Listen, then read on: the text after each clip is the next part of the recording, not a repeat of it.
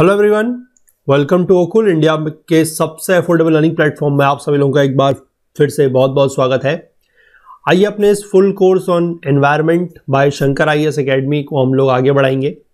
Chapter ten में हम लोग अपना डिस्कशन कर रहे हैं, जो इंडियन बायोडाइवर्सिटी के ऊपर है। और अभी तक दो पार्ट में हम लोग इस चैप्टर को देख चुके हैं, जिसमें हमने पहले पार्ट में ये देखा कि जो रीजन्स है, जो बायोडाइवर्सिटी के रीजन्स हैं इंडिया में, जैसे कि बायोजोग्राफिक रियाम्स है बायोम्स हैं बायोजोग्राफिक जोन्स हैं बायोजोग्राफिक प्रोविंसेस हैं, उनके बारे में बात करी थी। और पिछले पार्ट पे हम लोगों ने स्पेसिफिकली बात की थी हमारा जो एनिमल डाइवर्सिटी है या फिर जो फॉनल बायोडाइवर्सिटी है उसके बारे में। ठीक है कि अलग अलग प्रकार के होते हैं, वो सब चीज़ें हमने समझी। आज हम लोग जो है बात करेंगे अबाउट दी फ्लोरल डाइवर्सिटी के बारे में और आज उस टॉपिक के साथ ये जो पूरा का पूरा चैप्टर है चैप्टर नंबर टेन इसको हम लोग कंप्लीट कर लेंगे। ठीक है? तो आगे बढ़ने से पहले मैं आप सभी लोगों से एक बार फिर से रिक्वेस्ट करना चाहूँगा कि जो लोग इस कोर्स को, इस वीडियो सीरीज़ को फॉलो कर रहे हैं, जिनको ये पसंद आ रही है, वो ज़्यादा से ज़्यादा वीडियोस को लाइक करें, ज़्यादा से ज़्यादा शेयर करें अपने दोस्तों के साथ कलीग्स के साथ, ताकि हमारे इन कोर्सेज का जो फ़ायदा है, वो ज़्यादा से ज़्यादा लोगों तक पहुँच सके। और बाकी जो लोग चैनल पर नए हैं, जिन्होंने अभी तक हमारे चैनल को सब्सक्राइब नहीं किया है, मैं उन लोगों से भी रिक्वेस्ट करूँगा कि आप लोग चैनल को ज़रूर सब्सक्राइब कर लें और बेल आइकन प्रेस करना ना भूलें, ताकि वीडियोस के जो नोटिफिकेशंस वगैरह है, वो हम आपसे कभी भी मिस ना हो। और साथ ही साथ इस पूरे के पूरे वीडियो सीरीज़ का जो फुल कोर्स है, वो हमारी वेबसाइट पर भी अवेलेबल है। वहाँ पर आपको सारे के सारे वीडियोस मिल जाएँगे, वो भी एड फ्री यानी कि बिना किसी एडवर्टाइजमेंट वगैरह के। साथ ही साथ चैप्टर वाइज नोट्स आप लोगों को मिल जाएँगे पीडीएफ के फॉर्म में, और चैप्टर वाइज क्विजेस भी आप लोगों के लिए वहाँ पर जो है, वो बहुत जल्द अपडेट कर दिए जाएँगे। ठीक है? तो इस पूरे के पूरे जो कोर्स के साथ आप लोग, इस पूरे के पूरे सब्जेक्ट की तैयारी हमारे साथ, हमारे प्लेटफॉर्म के साथ कर सकते हैं। तो उसके लिए आपको करना कुछ भी नहीं है। नीचे डिस्क्रिप्शन बॉक्स में जो लिंक दिया हुआ है, उस लिंक पर जाइए। वहाँ से कोर्स को एनरोल कर लीजिए और वहाँ के थ्रू आप लोग ये बेनिफिट्स ले सकते हैं। तो चलिए, फ़िलहाल हम लोग जो है अपना डिस्कशन पार्ट थर्ड को आगे बढ़ाएँगे और इस चैप्टर को आज हम इसी के साथ कंप्लीट कर लेंगे। ठीक है? चलिए।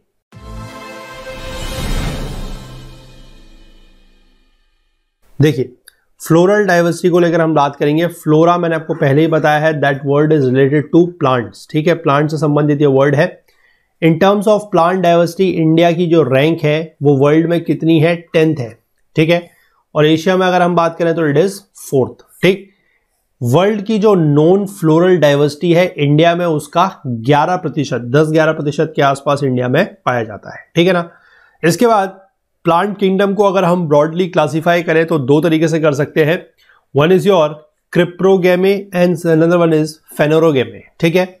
क्रिप्रोगेमे में आप कह सकते हैं कि non flowering and non seed bearing plants होते हैं और फेनोरोगेमी जो होते हैं they are your flowering and seed bearing plants यानी कि ऐसे प्लांट्स हैं जिनमें फ्लावर नहीं होते सीड्स भी नहीं होते they are known as cryptogamae ठीक है? और जो फनेरोगेमी है they have the flowers they have the seeds as well ठीक है?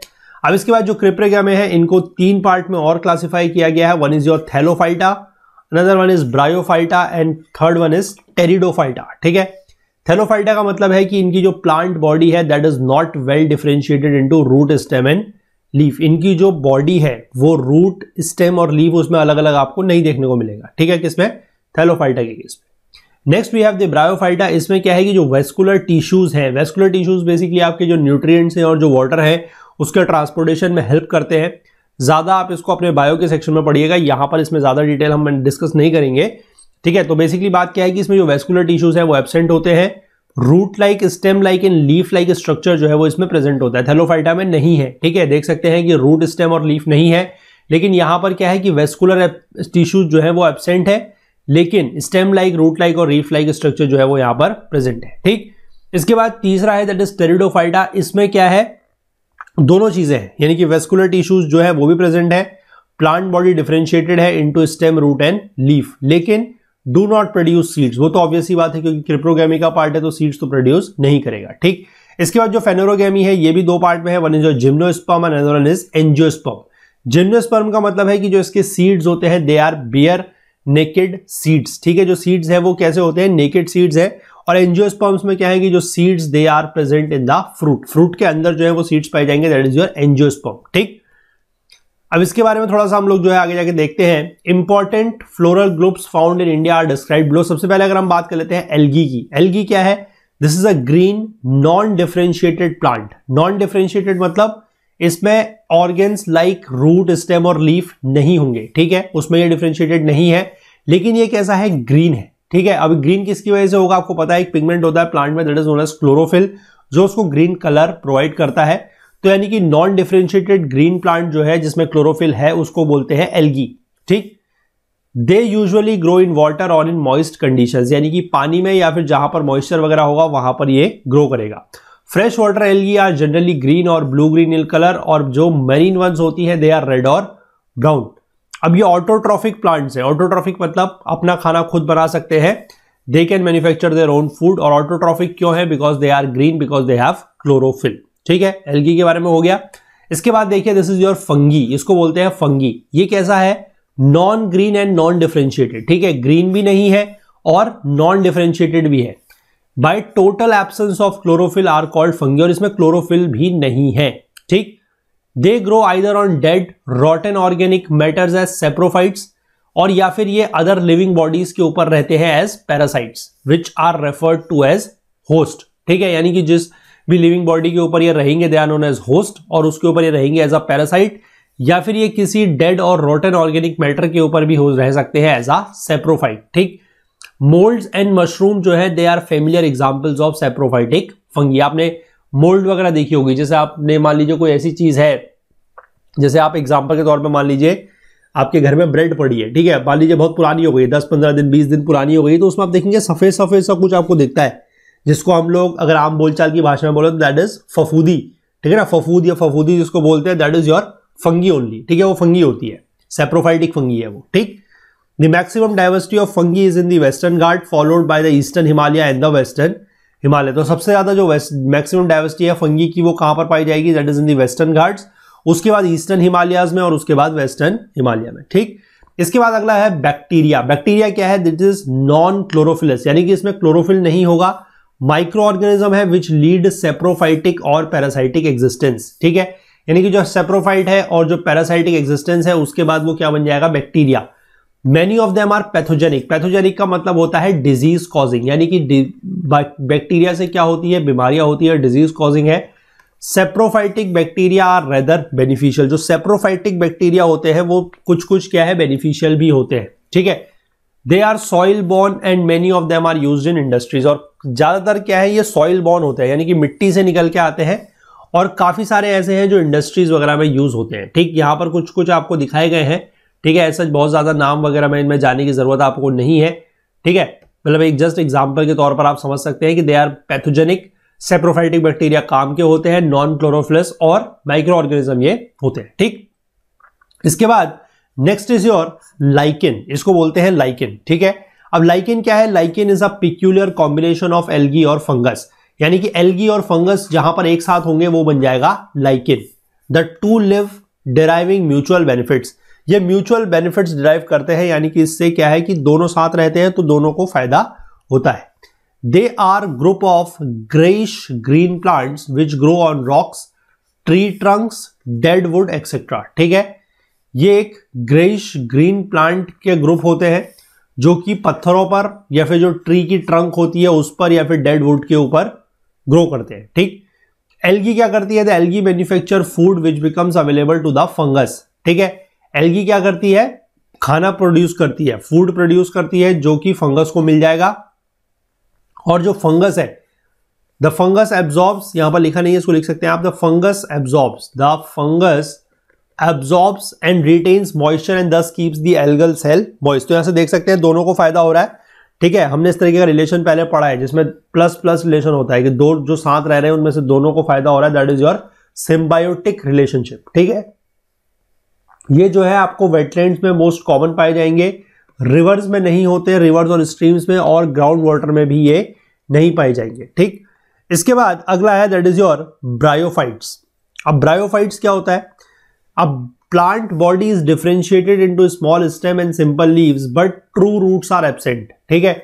यानी कि अभी तक हमने जितने भी देखे दे आर नॉन डिफ्रेंशिएटेड अब ये सारे के सारे क्या है? दे आर डिफ्रेंशिएटेड इसमें स्मॉल स्टेम भी होगी सिंपल लीव्स भी होगी, लेकिन ट्रू रूट्स जो है वो प्रेजेंट नहीं होगी। यूजुअली आपको मॉइस्ट प्लेसेस में मिलेगी, जैसे कि liverworts and mosses second largest group of green plants in India यानी कि इंडिया में जो ग्रीन प्लांट्स का ग्रुप है, उसमें सबसे सेकेंड लार्जेस्ट ये है। ठीक है, कहाँ कहाँ पर पाया जाता है? Eastern Himalaya North Eastern India Western Himalaya और द वेस्टर्न घाट्स ठीक है? मॉसेस जो है they constitute the major component of Indian bryoflora followed by liverworts and hornworts यानी कि जो मॉसेज हैं, वो सबसे ज़्यादा होंगी, उसके बाद लिवर वोड्स और हॉर्न वोड्स होंगे। ठीक है, यहाँ पर आप फिगर देख सकते हैं, इस तरीके का ये आपको दिखता है। ठीक है, इसके बाद अगला है that is your pteridophytes pteridophytes क्या होता है? इनकी जो प्लांट बॉडी है, वो वेल well डिफ्रेंशिएटेड है, और साथ ही साथ इसमें मतलब रूट सिस्टम्स और लीव्स भी है, और इनमें वेस्कुलर बंडल्स भी होते हैं। Most of them are terrestrial plant flourishing well in moist and shady places and some of them are aquatic यानी कि ज़्यादातर जो प्लांट्स है, वो टेरेस्ट्रियल है, यानी कि जो लैंड के ऊपर पाए जाते हैं मॉइस्ट और शेडी रीजन में, यानी कि बहुत ज़्यादा धूप वगैरह उन पर नहीं चाहिए, और कुछ कुछ ऐसे हैं जो पानी में होते हैं that is aquatic This group includes the vascular cryptogams like the club mosses, horsetails and ferns which are universally distributed all over the world. The northeastern region, yani ki including the eastern Himalaya, is rich in pteridophytic diversity, followed by South India, including eastern and western Ghats, and North India, including the western Himalayas. यहाँ पर आपको pteridophytes जो है वो देखने को मिल जाएँगे देखिए इस तरीके के होते हैं टेरिडोफाइट्स ठीक है ये आप देख लीजिएगा यहाँ से इसके बाद अगला है जिम्नोस्पर्म ये बेसिकली अब हम दूसरे साइड आ गए ठीक है, जो फेनेरोगेमी थे, यानी कि जिसमें सीड्स भी होते हैं फ्लावर्स भी होते हैं they known as gymnosperms gymnosperms क्या है? जिम्नोस का मतलब है नेकेड और स्पर्म का मतलब होता है सीड तो they are the naked seeded plants यानी कि इनमें सीड तो होगी, लेकिन नेकेड सीड होगी, ठीक है? They have very simple flowers without accessory whorls and stamens and carpels remain aggregated in cones ठीक है, ये इसके कुछ फीचर्स दिए गए हैं.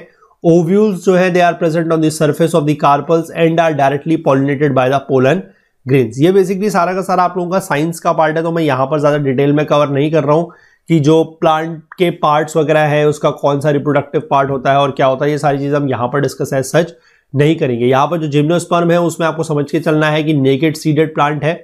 ठीक है? इसमें सिंपल फ्लावर्स होते हैं without accessory whorls and stamens and carpel जो है, वो कोन्स में एग्रीगेटेड रहते हैं। ओव्यूल जो है, वो कार्पल्स के सरफेस पर है और जो है डायरेक्टली पॉलिनेट होती है बाय द पोलन ग्रेन्स ठीक है? इसमें ओवरी स्टाइल स्टिग्मा टाइप की कोई चीज़ें नहीं होती है। Naturally there is no fruit example Cycas Pinus and Gnetum ठीक है? पाइन पाइन या फिर इसको पाइनस भी बोलते हैं। Is the largest family Gnetum and Cycas are mostly found in the North Eastern region Eastern and Western Ghats and Andaman and Nicobar Islands यहाँ पर ये चीज़ जो है पाई जाती है। ये पाइनस है, ठीक है? आपने पाइनस देखा होगा जनरली ये सर्दी वाले जो इलाके हैं मतलब ठंडे इलाकों पर हो जाते हैं। जिसको बेसिकली हिंदी में चीड़ भी बोलते हैं, ठीक है ना? चीड़ का पेड़ जो होता है, वो है ये, ठीक है? चीड़ का पेड़। दिस इज़ पाइन ठीक है? फिर इसके बाद एनजियोस्पर्म्स होते हैं। एनजियोस्पर्म्स का मतलब मैंने आपको पहले बताया था एनजियोन का मतलब होता है case are the closed seeded plants ठीक है? इसमें क्लोज सीड होंगी। These are the most highly developed plants which bear flowers having conspicuous accessory and essential whorls essential whorls ये जो रोल्स है, इसका मतलब क्या होता है? जैसे आपने कुछ कुछ पौधे देखे होंगे, इस तरीके के होते हैं कि बीज से जो है ये फूल इस तरीके का बाहर को निकल रहा है, ठीक है? इस तरीके से बीज से फूल जो है वो बाहर को निकल रहा है। This is known as whorls ठीक? कार्पल्स में ओवरी स्टाइल और स्टिग्मा भी होता है and with the stimulus of fertilisation the ovary usually develops into the fruit and the ovules into seed आपको थोड़ा सा पता होना चाहिए कि जो ओवरी होती है, वो फ्रूट बनता है और जो ओव्यूल्स होते हैं, वो क्या बनते हैं? Seed and thus the seed remains within the fruit और इसी वजह से क्या है कि जो सीड है वो फ्रूट के अंदर रहता है। India has more than seven percent of the world known flowering plants जो विश्व में जितने भी फूल वाले पौधे हैं इंडिया में उसमें कितने हैं? लगभग सात परसेंट के आसपास। ठीक है? इसके बाद अगर हम फ्लोरल एंडेमिज्म की बात कर लें मतलब कहाँ पर ज़्यादा है, कहाँ पर कम है तो देखिए सबसे ज़्यादा जो स्पीशीज पाई जाती है 2600 के आसपास, वो कहाँ पर है? Peninsular India including the Western and the Eastern Ghats इसके बाद जो हमारा हिमालयन रीजन है, यानी फिर हम नॉर्थ ईस्टर्न रीजन में चले जाइए ईस्टर्न हिमालय और नॉर्थ ईस्ट वहाँ पर लगभग 2500 स्पीशीज है। नॉर्थ वेस्टर्न हिमालय में आप आ जाए तो 800 स्पीशीज के आसपास है और अंडमान एंड निकोबार आइलैंड में चले जाए तो 250 स्पीशीज के आसपास है। यानी कि अगर हम फ्लोरा की बात करते हैं तो सबसे ज़्यादा कहाँ पर है? 2600 आपके जो पेनिनसुलर इंडिया है including the Eastern and the Western Ghats ठीक है, उसके बाद हमारे जो नॉर्थ ईस्ट का रीजन है इंक्लूडिंग द ईस्टर्न हिमालयाज उसके बाद नॉर्थ वेस्टर्न हिमालयाज और सबसे कम कहाँ पर है जो हमारा आइलैंड है that is Andaman and Nicobar Islands ठीक है?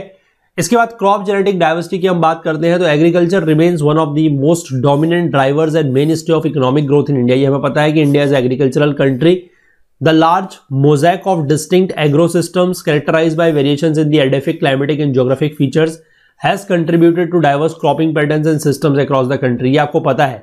एडिफिक मतलब अलग अलग प्रकार की सॉइल होती है। मैंने आपको पहले बताया था अलग अलग क्लाइमेट है, यहाँ की जो टोपोग्राफी है जोग्राफिक फीचर्स हैं वो अलग अलग हैं। उसकी वजह से इंडिया का जो क्रॉपिंग पैटर्न है वो भी काफ़ी ज़्यादा डाइवर्स है। ठीक है ना? India stand seventh in the world in terms of contribution to of species to agriculture and animal husbandry इस मामले में इंडिया की जो रैंक है वो ओवरऑल कितनी है? सातवीं।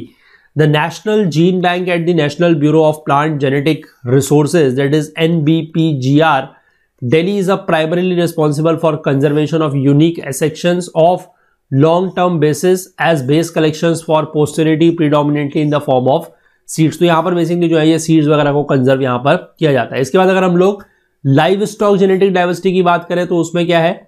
India has vast resources of livestock and poultry which play a vital role in the rural livelihood security जो रूरल लोगों की आजीविका है, उसको एक सुरक्षा कौन प्रदान करता है? जो हमारे पास बहुत ज़्यादा बड़ा लाइव स्टॉक है। ठीक है, जो पशु वगैरह है, जो पोल्ट्री वगैरह है, वो।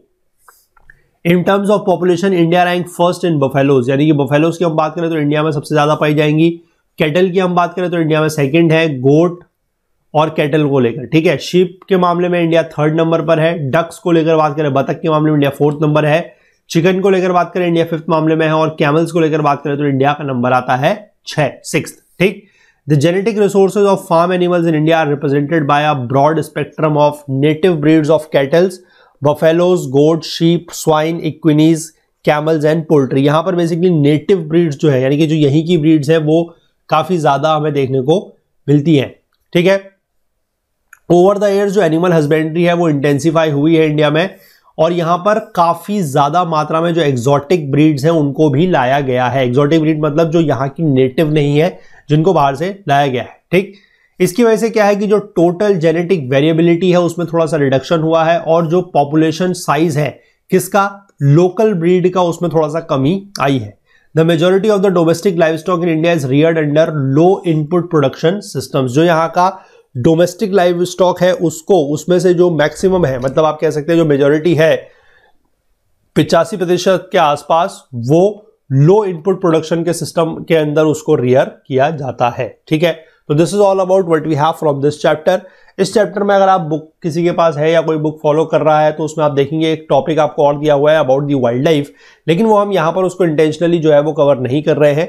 वो आगे जाके जब हम हम एनिमल डाइवर्सिटी की बात करेंगे, ठीक है? अभी अगला चैप्टर हमारा आएगा अबाउट दी एनिमल्स जो हमारे शेड्यूल आपका 1972 के जो शेड्यूल्ड एनिमल्स वगैरह है W P A wildlife protection act, उसके अंतर्गत थोड़ा सा चीज़ें हैं जो वहाँ पर बात करेंगे। और फिर उसके बाद हम लोग जो है, जब एनिमल डाइवर्सिटी का एक चैप्टर है, उसके बारे में वहाँ पर बात करेंगे, तब हम वाइल्ड लाइफ को वहाँ पर भी जो है वो डिटेल में देख लेंगे। ठीक है? फ़िलहाल इस चैप्टर में इतना ही है आप लोगों के लिए। आपको चीज़ें जो इसमें बताई गई है, थोड़ा बहुत फ्लोरा फोना के बारे में जो क्लासिफिकेशन वगैरह बताया गया है, और उससे पहले जो डाइवर्सिटी रीजन्स आपको बताए गए थे, वो ज़रूर से आप लोग जो है पढ़िएगा, ज़रूर से उसको याद रखिएगा और ज्योग्राफी को आप लोग पहले कवर करके ज़रूर रखिए। तब आप इस सब्जेक्ट को पढ़िए तो आपको ये सब्जेक्ट जो है और भी आसानी से और और भी अच्छे से समझ में आ जाएगा। ठीक है? तो इस कोर्स को हम लोग आगे कंटिन्यू करेंगे हमारे अगले चैप्टर के साथ। ठीक है? चलिए। तो कंटेंट रिलेटेड आपको अगर कोई भी डाउट होता है तो आप हमारा टेलीग्राम का जो ग्रुप है दैट इज़ ओकुल जीएस यूपीएससी डिस्कशन फोरम इसको ज्वाइन कर सकते हैं। इसका लिंक आपको नीचे डिस्क्रिप्शन बॉक्स में मिल जाएगा या फिर आप इसको टेलीग्राम में सर्च करके भी ज्वाइन कर सकते हैं। बाकी इस पूरी की पूरी वीडियो सीरीज़ का जो फुल कोर्स है वो हमारी वेबसाइट पर अवेलेबल है। वहाँ पर आपको सारे के सारे वीडियोस साथ ही साथ chapter wise notes chapter wise quizzes जो है वो मिल जाएँगे। और वहाँ पर आपको उसके लिए करना क्या है? नीचे डिस्क्रिप्शन बॉक्स में लिंक दिया हुआ है। उसके थ्रू जाके आप कोर्स को परचेज कर सकते हैं। कोर्स को परचेज करने में या हमारी वेबसाइट के थ्रू एक्सेस करने में अगर आपको कोई भी टेक्निकल क्वेरी आ रही है तो आप हमसे व्हाट्सएप के थ्रू इस नंबर पर या फिर हमारी जो ओकुल हेल्प डेस्क की ईमेल आईडी है that is support at the rate ओकुल dot C O वहाँ पर भी कॉन्टैक्ट कर सकते हैं। बाकी हमसे ज़्यादा जुड़ने के लिए आप हमें फेसबुक पर इंस्टाग्राम पे लिंकड पे और ट्विटर पर भी फॉलो कर सकते हैं। तो मिलेंगे अगले लेक्चर में नए चैप्टर के साथ। तब तक के लिए अपना बहुत बहुत ध्यान रखिएगा। Please do take care of yourself thank you have a nice day bye